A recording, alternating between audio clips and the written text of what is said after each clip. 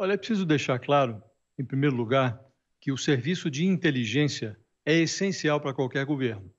Nenhum governo funciona direito sem um bom serviço de inteligência. Agora, o que é um serviço de inteligência?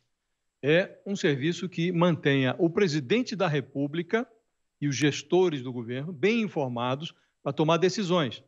Eu costumo citar o exemplo do, da greve de caminhoneiros que ocorreu durante o governo Temer. O governo foi surpreendido por aquela greve, que teve um efeito muito danoso na economia brasileira. Se o governo tivesse conhecimento de que aquela greve poderia ocorrer, poderia ter negociado com os caminhoneiros uma solução que evitasse a greve. Para isso serve o serviço de, de, o serviço de inteligência. Não para ficar bisbilhotando a vida das pessoas ou a preferência política das pessoas, conforme a sua se é contra ou a favor do governo. Isso daí acontecia na época da ditadura militar. Isso é arapongagem, não é inteligência de governo. A posição do ministro Dias Toffoli no final do julgamento é risível, porque no julgamento inteiro os ministros passaram é, todo o tempo criticando o trabalho do, feito pelo Ministério da Justiça. Essa, essa, extra, esse serviço de inteligência no Ministério da Justiça foi criado a propósito dos grandes eventos esportivos que ocorreram no Brasil, Copa do Mundo e Olimpíadas. Para quê? Para verificar se tinha risco de terrorismo, se havia algum risco para os atletas que estavam vindo para o Brasil, se nós íamos importar alguma divergência de países outros para o Brasil. Para isso foi criado, não para ficar bisbilhotando inimigos do presidente da República. Aí o, o Alexandre de Moraes chamou de fofocaiada, outro ministro disse que era um, o Luiz Fux disse que era um trabalho de desinteligência, e o ministro da Justiça, eh, ele se posicionou de forma muito ambígua nesse processo todo. Primeiro disse que não tinha dossiê, depois demitiu o responsável pelo setor, eh, abriu uma sindicância, a ministra, a ministra Carmen Lúcia é, perguntou durante o julgamento: bom, se não havia nada de errado, se estava tudo correto, para que demitir o responsável? Por que abrir uma sindicância? Essas são as perguntas que estão no ar. Então, o Supremo tinha que ter eh, inaugurado uma investigação, tinha que ter requisitado ao Ministério Público uma investigação para ver em que circunstâncias foi produzido esse relatório. E se o relatório é tão ruim, é fofocaiada e tal, deveria ser divulgado para que as pessoas tirem as suas próprias conclusões.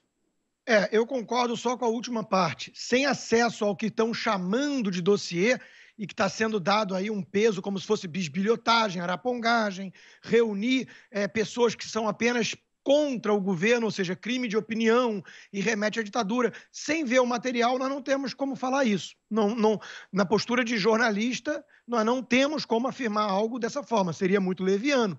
Então, só vendo o material. Porque se for realmente uma compilação de informações públicas de alguns, e olha, são muito poucos, estamos falando de 500 funcionários. O Estado brasileiro tem milhões de servidores. Estamos falando de 500 pessoas que podem ser pelo que tudo indica, ligados a movimentos que nos Estados Unidos, por exemplo, são considerados terroristas, como a Antifa. E ainda temos que ver um voto como o do Barroso, falando que se for então para proteger o Estado e fazer investigação desse tipo, que seja com pessoas que são fascistas e não antifascistas. Ou seja, ele aceitou a valor de fácil o nome antifascista, sendo que todo mundo sabe que esses antifascistas são os verdadeiros fascistas. São eles que botam máscaras, pegam em armas e tentam subverter a ordem e a democracia. Fizeram no Chile, estardalhaço, tentaram espalhar o caos. Então é disso que pode se tratar. E se for disso, não tem nada de absurdo. Todo mundo faz, inclusive o Supremo fez com um inquérito ilegal, né, para pegar gente que solta fogos de artifício que é muito menos grave do que Antifa. Então tá tudo muito estranho nisso. O Dias Toffoli deu um voto totalmente politizado, mas uma coisa não passou despercebida ali. Ele falou: todos os governos anteriores faziam, todos os ministros faziam. Ou seja, acompanhar servidores de estados que gozam de estabilidade, podem estar tentando de alguma forma boicotar o governo eleito e subverter a democracia, isso é proteger o Estado. Não tem nada de dossiê, de arapongagem e de regime militar nisso.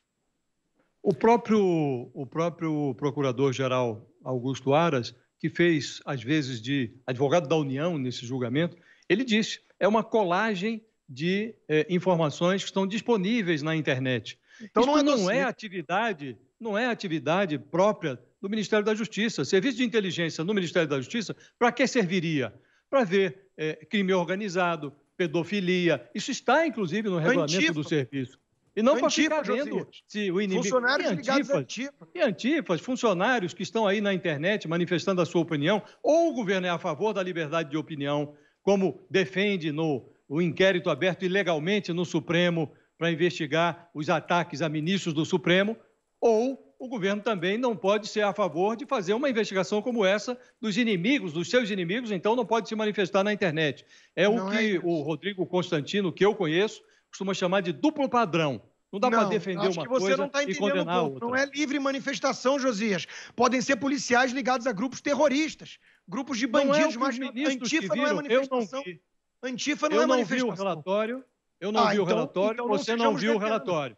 Os então ministros que viram o relatório os ministros que viram o relatório, e não foi um só, foram vários, disseram que é uma compilação de dados, não tem nada de, de, de grave, nenhum crime associado. Então, eles acham que é não tem nada assim, grave ser ligado se é a antigo. Assim, se é assim, o Supremo, para elucidar essas dúvidas que estamos tendo aqui, deveria ter aberto uma investigação. Ah, requisitado. Por que não abriram, né? Por que não abriram?